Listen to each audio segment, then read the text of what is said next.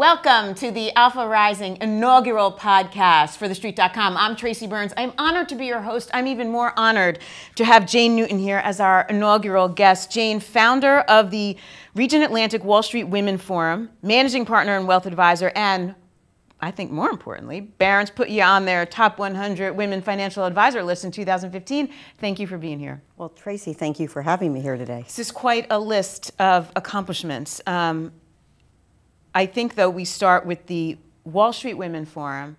Back in 2008, 2009, when the world was falling apart, financial crisis first imploding, then exploding because its tentacles hit everywhere, yes. we saw many high powered women falling, taking the fall. One may say, yes. Right? And you decide we need an organization to help. How did this all start?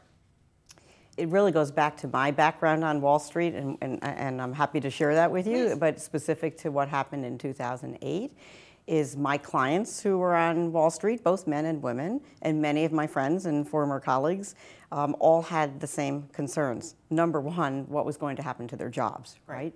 Many of them had already lost their jobs. They knew they were on a, on a path probably to have their jobs become obsolete, um, or uh, they were just concerned. And the second question that I heard repeatedly, Tracy, was um, what's the compensation going to look like? Um, you know that Wall Streeters get um, a nice cash salary, but uh, most of their uh, compensation is deferred and very variable. And by the way, it's often deferred, especially back then, into company stock. So their, their actual take-home pay for the lifestyle that, that they often want to lead um, may be a little bit mismatched. And they were concerned about these clawbacks, right? So right. all of a sudden, they're wondering, how am I going to be able to continue the life that I would like to live for me and my family? Because let's not, I mean, diminish these bonuses or this deferred compensation that you were it's talking about. huge, huge numbers that were disappearing huge numbers disappearing, right? Firms that went under and everybody mm-hmm. lost mm-hmm. all their stock compensation, right? right? All that deferred compensation. So yes, uh, Wall Streeters, their compensation is somewhat unique from other industries. Uh, uh, people say it's high, it's high, but it's not all cash. Right. So questions about what's going to happen um, to jobs, where will the opportunities be, and how am I going to be able to afford my lifestyle? So I heard those questions from my clients. Um, I set out to talk to many others I know and ask them what was on their minds. Men and women had the same questions. The women, in addition, had other concerns. How am I going to reinvent myself yet again? Many of these women had already been through the industry consolidation, you know, the Manny Hanny, Bankers Trust, Deutsche Bank, JP Morgan, and they were getting tired of it, or they were at the same firm and their management kept changing, right? As the industry was evolving very quickly. And they asked themselves, how do I stay relevant, right? And even, even people in their 50s on Wall Street are starting to feel like they age out, and sure. that was accelerating. So I heard all these questions, and I thought, there's a real thirst for information that isn't in my natural wheel set, but I know how to get the answers for my clients. And also, the women wanted to get together with their peers. Um, we can talk about this, but women generally don't spend as much time on that uh, building the network as maybe the men do. I put this together and I went to my partners and I said, I want to put together an event for Regent Atlantic in the city for high level women on Wall Street, just the kind of people we know we can help with our advice, our financial planning, and yes, investment management. So they jumped at this because, uh, on one hand, it's a pool of really amazing potential clients. Correct. On the other hand, there's a philanthropic angle here. There's a philanthropic angle, and with me personally, and I've realized maybe in hindsight that the Wall Street woman Forum community, that is now 750 strong and growing today, that I didn't have that as I grew up on Wall Street. Right. Um, I certainly didn't have it when I started out in investment banking, and, and maybe I didn't invest as much in it, but I didn't have that, what I think of now as the sisterhood. This group of women that come together um, in small groups and big groups, but I can help convene with Regent Atlantic to help each other, to learn from each other and the speakers, um, and what we can do individually and collectively to really advance women in the industry. So it's for ourselves but it's also to help the next ones coming up behind us. Because us. it was lacking when we came up the ranks. Absolutely. I mean, in, especially in investment banking. I mean, if anyone is familiar with it, it is it's grueling. The hours are long, and and it, therefore it is very hard for women to last in investment banking. So I think there's a lot of things I have learned along the way, right alongside all the women in the forum community, um, that I wish I'd known in my 20s when I started out in investment banking. Um, and gosh knows where I'd be today if I'd known some of, of that back then. Um, we didn't talk about the term sponsors. There was no notion uh, that there's somebody better than a mentor who can help advance our careers, who can help advocate for us, even when we're not in the room. That's a sponsor's responsibility and, and, and benefit to anybody being sponsored. We didn't even have that word in our vocabulary. No, we didn't even know, and nor did we even think to find a mentor. Back, I didn't, at least back then. Yeah, I think, uh, yes. And I think that one of the questions, and I still get asked this today, is if I was choosing a mentor, or better yet, a sponsor, if I was looking for one, should it be a man or a woman? I don't think there's a right or wrong. Agreed. Find that person. Um, many uh, women I've talked to have views on whether they prefer a man or woman, but you have to have those relationships really solid. I think that we had formal mentor programs, and we all know that some of those work out well, mm-hmm. and some of those relationships that were foisted on us um, don't work so well. And, and so I think part of it is we have to own our own careers, right? Um, men and women know that, but what does that look like? And part of our owning our own careers is to take the risk and go find those relationships that can help us. I think that's like something like every young woman coming out of college should be told the first thing you need to do is go find yourself a sponsor. Let's talk you since you brought it up. Let's talk about the difference between sponsorship and mentorship because it's a these are buzzwords people throw around all the time lately. Sure. Um, and there is a huge difference. Right. So I think of mentors as that person you go to. Uh, it could be your boss, it could be a colleague, it could be actually someone who works for you. Um, the person you go to for advice, for guidance, for directions, for help. You ask them all the silly questions of, and they may give you answers, they may push you in the right direction, um, but they're there really to guide you. That is completely different from a sponsor who is really there to advocate for you. So think of the sponsor as the person who's pounding the table when you're not even in the room, saying, Tracy's the person that you have to put on that committee. Tracy's the person who really um, needs to take that job in Chicago. Tracy's the person to solve that problem for you, um, as opposed to it's all the men who they're pounding the table for. So the sponsor um, is really, um, as one of my keynote speakers likes to say, um, that most of the most important decisions about your career are made when you're not even in the room. It's that person who's providing you those opportunities. That's a lot to ask, right? That's like finding that big brother, big sister that wants to put their, their neck out on the line for you. and they are, right? They're investing. A sponsor, I believe, is putting their personal capital to work. Totally. So there's a whole, um, res- the whole question about how do I get a sponsor, and I don't believe you get one. I think you have to earn it. Um, and also, if you're being sponsored, sometimes called a protege, Yeah. what is your responsibility in turn? Because that person is putting their neck out Right. for you. Right. And so, like, an organization like yours actually brings all these women together, 750 strong, you said now, which is amazing. Invite only, correct? Yes. Um, Invite only because it's geared specifically for high level women on the street across all sectors. So if you're a managing director um, in sales and trading, in IT, in private equity, all across the street, and you walk into our event, you know you're seeing your peers. It's your caliber.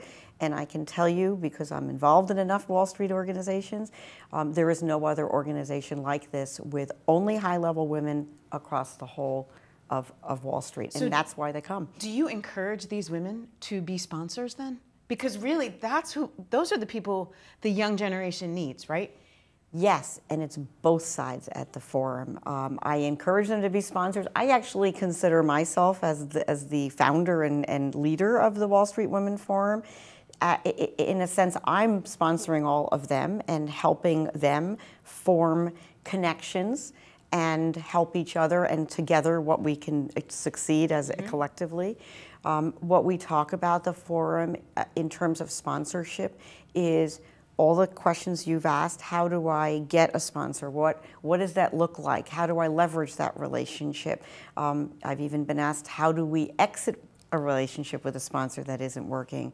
Um, all of those things. We also talk about what can we each do to sponsor in turn because I think there is a a real commitment, maybe not when I was coming up on Wall Street, but a real commitment now among the women to give back, to help those coming up behind us. It's amazing because I see it too. I myself too did not have a mentor, was not sponsored, and, and, and was part of that generation a little bit where they would claw your eyes out.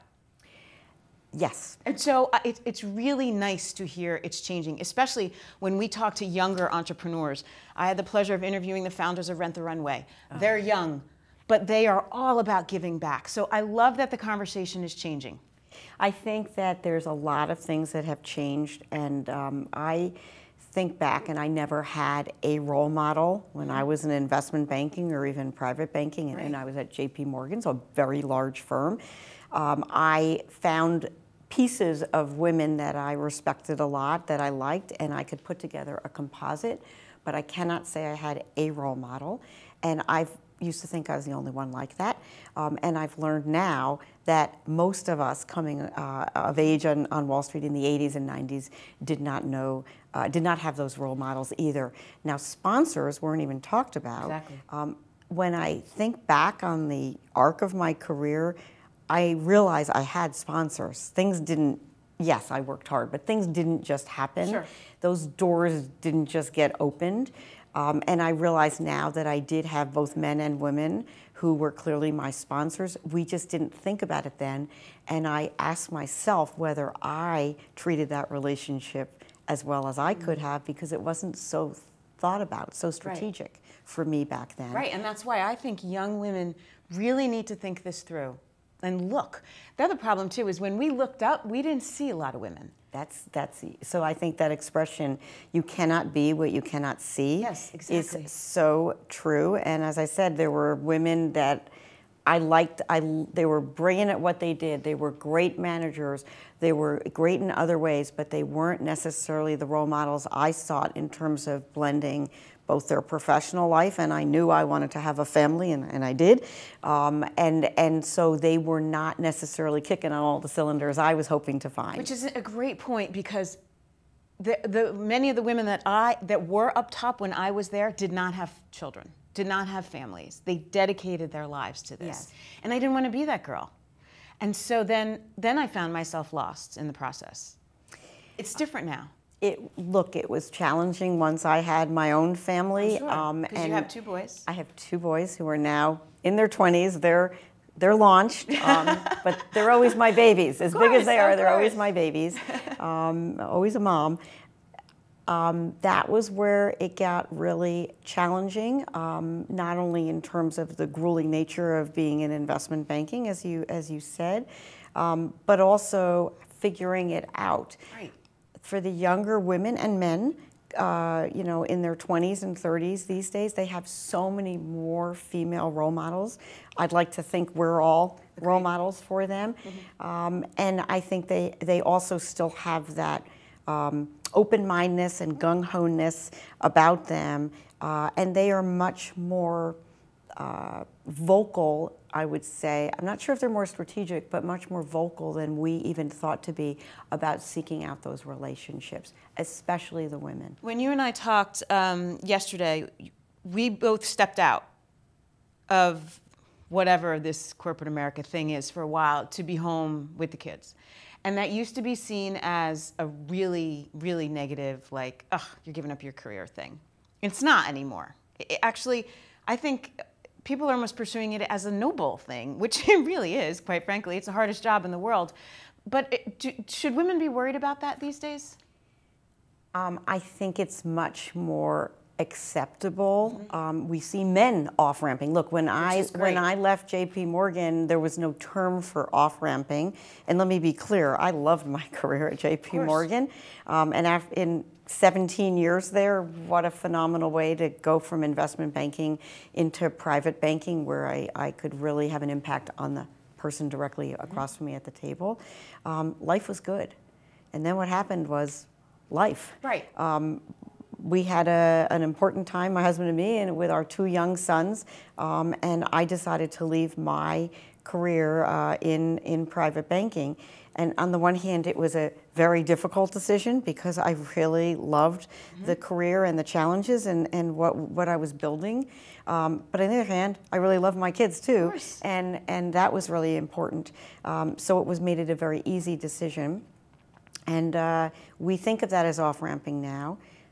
I don't think the notion of stepping out is so frowned upon right now. What I think is really continues to be incredibly challenging is how to get back in. Yeah.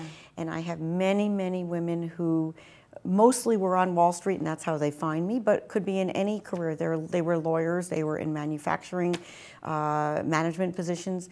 They stepped off for whatever reason and now they want to get back in. And it is really tough. I, I was, I, I don't want to say I was lucky. Women, we say we're lucky too often. I was lucky and I worked very hard to build on the relationships that I had long had to get me where I am today at Regent Atlantic. Um, but it's really hard to on ramp. Um, I think it takes a certain person willing to take a risk on you coming back in um, to say, oh, Jane can do this, uh, Tracy can do this, Johnny can do this. Why doesn't this fall on the shoulders of corporate America a little bit more, though? Shouldn't it be a little bit more? I mean, it- it's it's a talent pool. It's a talent, and there's a talent shortage in and there's a talent fields. shortage. And just because someone, I love the off ramp thing. That sounds so much better than me saying stepping out. These are talented women. These This firms is a- should want these women back. This is a valuable resource. Some industries and some firms are doing much better. There are, in many firms, formal programs. I know people who have gone through them on Wall Street. There's these various entree, Yeah. they don't call them on Right. but entree programs, and they're grueling. Um, very mixed success as to how they do. Um, and I would say they shouldn't just be for women Sure. because there are men who have stepped back, and that, I think that's what's helped things. The other thing I think that um, Tracy that helps with this is many of our peers, when we were women and we off ramped, are the men who have daughters. And I can't tell you how many times a man says to me, you know, I think very differently now Yes. that I've raised a daughter. love I want her to have all the opportunities that I had or that the men have, and um, she should have no obstacles. So th- I think it's raising their awareness, and they're much more attuned to it. Change is slow. I know. These things are ingrained, and I'm sure you know the differences now are not so explicit. It's not the boom boom room and the trading floor and all the craziness that some of us know happened that was rather Although not there friendly. was still a firm in Jersey that hasn't got the memo, but whatever. Right, and certainly in your industry, in the media Yes. industry, there's you know It's- continues to be bombshells about about that. gender discrimination. Um, it's much more um, under the surface. You Yeah. know, they call it unconscious bias, and we all Have it. do it. So I think that uh, it's no more um, easy uh, because it's hidden, uh, but we need to, it, it all starts to me with awareness. So there is a mindset that we have a valuable talent pool that we're Right. not tapping. Um, and I do think it comes to someone saying, I'll extend a hand to you. I need you. I want you. I'll take a risk. And selling you to whoever else has to be in on that decision. I've heard this time and time again now that the men have daughters coming up the ranks and they're thinking things differently because of their daughters. So, so to that, do you think it will change with the generations? I have gotten mixed response to this. Do we get rid of the wonderful white men that are at the top right now when they move on and the next generation comes up? Will it be different or is it that slow to change? I'm very hopeful. I've seen change already, um, but it is going to be slow. So let's let's uh, use Wall Street as the example. Uh, after the um, financial crisis of 08, 09, we saw so many very high profile, very visible women leaving yes. the street. Um, you may say they took the fall. We can we can talk about that. That's fodder but they, for another podcast. They left for whatever reason, or right. they were pushed out. Right. Um, and you know who they are. Mm-hmm. As any women on Wall Street saw that happening, it ha- it affected them deeply. If Ina Drew can't make it, what means that for me? Right. What if Zoe Cruz can't make it? If Erin Callan can't Sallie make it, goes on. Right. Krawcheck. If it didn't work for them, why do I think this is going to work for me? And so I think that it dealt a blow to many women um, who may have decided that they were going to stick it out and try that much harder. Uh, and find ways to make it work. It may be that they did a lateral move to get somewhere else. Um, they changed within the industry. And I think it also is a big part why women go and launch their own firms. Mm-hmm. They've become entrepreneurs because they'd rather control their own destiny, right? And many of them actually want to be the female owners of a, of a, of a firm that helps other women. Right and maybe has female clients. So and, I, and really, so that the time is right for entrepreneurship, right? Money's cheap. You can work remotely, so so that that works to our advantage. But that comes to the confidence issue, doesn't it? Mm. Like women. We, I think we overthink things sometimes, right? The notion that some of these women now watching the Zoe Cruzes, the Sallie Krawchecks of the world take a fall, and all of a sudden questioning their own abilities. This is a confidence issue, isn't it? It is a confidence issue, Tracy. And look, um, I, I face some of that too. So yeah. I get asked all the time, why would these very accomplished women, you know, on Wall Street need any help having self-confidence? And right. so there's this notion that we're, you know, supremely confident. Right. And boy, is that a myth, right? I, I've yet to meet a woman who's willing, who, who you know, who's, who's not willing to admit that um, she doubts herself at times. Uh-huh. So I think that um, we are sometimes our own worst enemy. Absolutely. So we can talk about, you know, it's the company's faults, it's the management, it's, you know, the white men in power, it's all of that. And yes, there's some truth to that. But it's also about what we can do to further ourselves. And so we can't just whine. We have to actually act. And one of the things we can we can um, focus on is the things we can control. So I can't control what happens, you know, in the industry consolidation or the the, the stock price of a particular bank or you know right. all of that. Um, but i can control my own parts of my own career. And what i what i help these women and our speakers help these women realize is how to own it how to take charge of your own career. So we talked about the relationships that matter. That's certainly sponsorship mm-hmm. right how can we squash those voices in our head? Those voices of self doubt that say, when are they going to figure out I'm really not that smart? When are they going to figure out I'm, I really shouldn't be working with that client? right, that right? I do not when have my you know what together. exactly. When are they going to figure out that this, is like, I'm really taking a risk, right. risk here out of my comfort zone?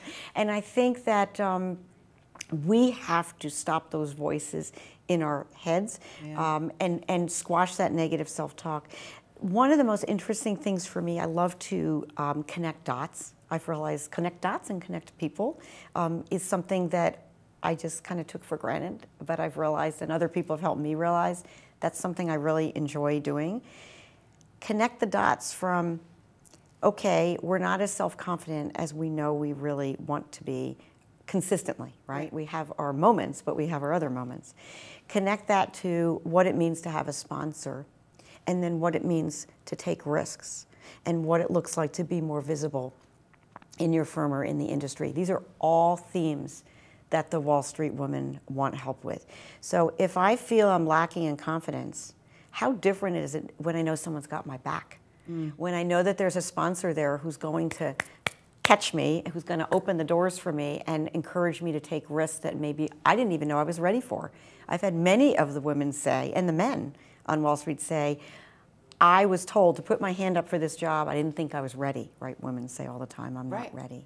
Right, because we have to check every box. We have to check every box. The men just put their hands up and say, yeah, I'm, like, I'm I, could, guy. I could do this. I could. I got this. Right. Great stories around that and dismaying stories. So women, yeah. we need to put our hands up. If you knew someone was going to catch you and make it, make sure that you had the tools and the support to do it, how much more likely are you going to be to put your hand up right. and take those risks? Just to say someone has my back. Right. So it's tied back to the relationships, which help engender self confidence, but you need the self confidence to reach out and forge those relationships, right? And then how that helps you become more visible. So, one, one other thing um, you and I have talked about a little bit is um, we don't like tooting our own horn, Never. right? That Never. word, I don't want to brag about myself. Many of us, myself included, will say, I will pound the table for my own team. I can do that really comfortably. When someone's done a great job, I'll pound the table. But pound the table for myself, no way. So true. So if you have a sponsor do that for you, mm. right, you don't have to do it yourself. It takes a village. Sure does. The other thing you and I talked about, and uh, in the interest of time, I'm going to keep us moving here. Women ask, What am I missing? How come men don't? um, actually, they, they both ask what they're missing, but perhaps in different ways. So, in my role as a wealth advisor to uh, busy, smart, capable professionals, um, these are people who often are taking care of their own personal finances. Um, they may know they're not doing as great a job as they could. They may think they're doing a very good job. Um, they may not realize there's other things they'd rather do with their time than do it themselves um, they get a lot of information, right? Wall Streeters and other professionals, they get bombarded with things they should think about. Oh, I should do a Roth IRA conversion. Oh, tax reform is going to mean X. Or here's what the latest thing in estate planning or charitable giving. They don't know how to apply it to themselves. So inertia sets in. So my um, finding is that smart people are really afraid of making a bad decision. Yeah. And so unless they're going to seek help, to help them make a sound decision, they make no decision, right? I don't want to have to admit to myself or my spouse or my brother in law that I did something silly. Mm-hmm. So that could impair my financial path down the road. Um, so, what they want to know is what am I missing? Here's the questions I get What is everybody else doing that I should think about? And I can share some of that with my clients, but at the end of the day, what they're really asking is what's it mean for me? Of course. So I bring it home to them, knowing them very personally, thinking about if, if they have a career, how does their career fit into their long term goals? What kind of path do they see themselves on, and where do they really want to go? Um, the women, as we know from our surveys of the Wall Street Women uh, in Forum community, is two thirds of them say they're where they want to be in their careers, um, even if they don't know that they're being paid or recognized the way they'd like to be. That leaves one third who are not where they want to be. Right. Um, one third who know they want to make a change and get to their dream job. Um, how do they get there? What do they want to do? Where do they want to go? Are all things about what they're missing and they need help with. I can find people to help them dream about their dream job. Where I come in is what can they afford to do? So they want to know what am I missing if I walk away from this job to take another job or I just walk away. What am I missing that could, could derail my finances? What am I able to do? And that's what I help them frame that decision. How do I become a member of the Wall Street Women Forum? I'd love you to be a member of the Wall Street Women Forum. I would too. So but how wall, does everyone? Wall, what does? How do we aspire to be a part of this all, eclectic group? Um, so it's all word of mouth, amazing women recommending other women. Um, this is a very vetted community so that the women who are part of it know that they're dealing with their and interacting with their peers. Um, these are women with usually 20 plus years of experience in the industry and a lot of responsibility. So think managing director level across all sectors, all kinds of firms in Wall Street. Uh, Two thirds of our community come from the large banks, names you would know, and about a third come from much smaller firms, sometimes their own firms they founded, um, and they've moved back and forth. Right. So um, they come because they want to learn from the speakers, learn from each other, and that word that's sometimes seen as a dirty word, they want to network. They want to connect. So then, do you peers. recommend for young women coming out to get involved in other organizations that you know that are for their age, their absolutely, and I often will steer them to those. Um, there are so many other organizations for younger women on Wall Street, and then of course within some of their firms, they have most of them have some sort of women's initiative. I encourage women to take advantage of it. One of the things um, I saw over my career uh, at JP Morgan is there were some women who would never get involved in a women's organization. They did not want to be associated with something that needed help, right? Or what we right. now sometimes you're weak. You're weak, or we're or you're scared of you. feminist. exactly.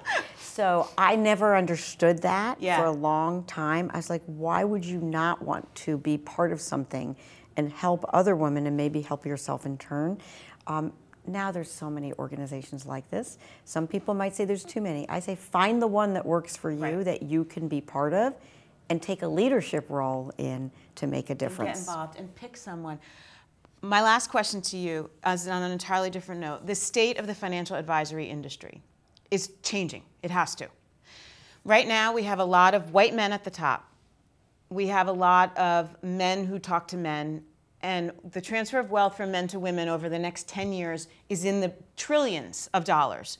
All these women are going to inherit money from their husbands. Correct. Where are they going to go? Because they're not going to stay at these firms, are they?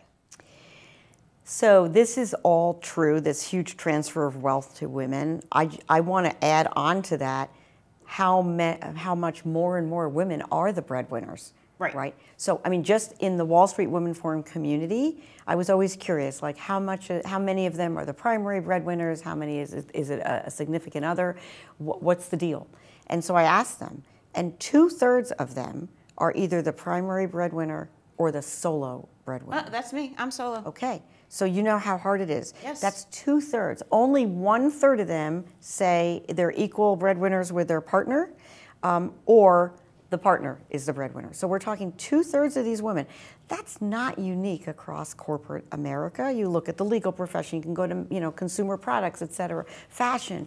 The women are more and more the um, the ones who are owning it. And the question is, how do they feel about who are they going to work with as an advisor? Right.